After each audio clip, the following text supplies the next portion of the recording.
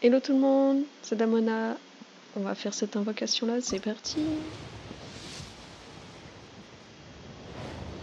Rien de fou.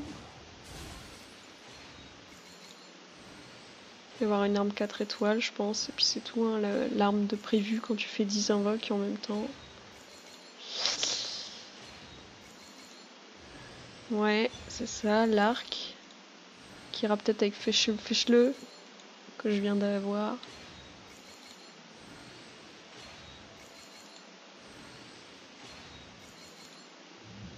Ok, bon, waouh.